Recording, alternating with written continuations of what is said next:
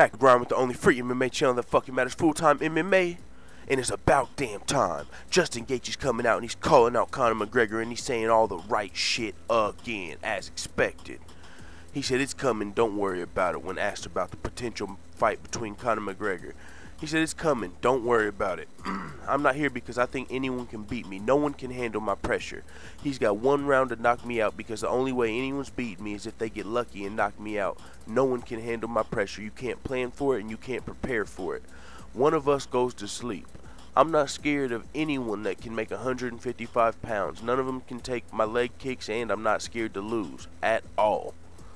Let's go. And you know what? I'm not mad at Justin Gaethje calling Conor McGregor out like all these other motherfuckers. You know why?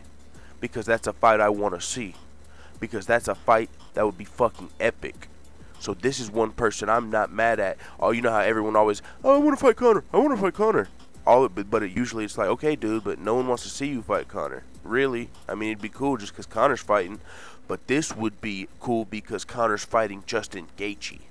Somebody's for sure getting knocked out. It's gonna be epic. Justin Gaethje's probably gonna get knocked out by a motherfucking cold left uppercut, wobble his ass, come through with the left hook, take him out. But it doesn't matter because Justin Gaethje's gonna put pressure on Conor, and he's definitely got a chance of winning. He's got a chance. That's for sure. I would love the fight. If, if Justin Gaethje won, I wouldn't even be mad because he's that dude. He would, ooh, that would be so crazy. He would move up to 19 and 0, take Conor's belt, fight Khabib for the belt, because they're saying he's potentially most likely fighting Tony Ferguson next for an interim title shot versus Conor.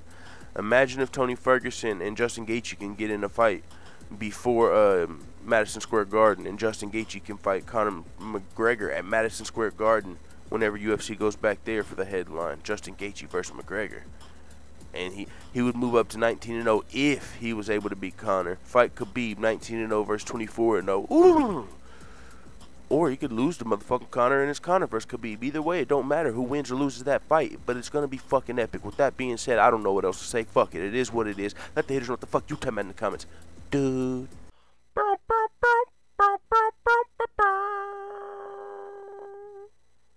Why are Monica Lewinsky's cheeks so puffy? because she's withholding evidence.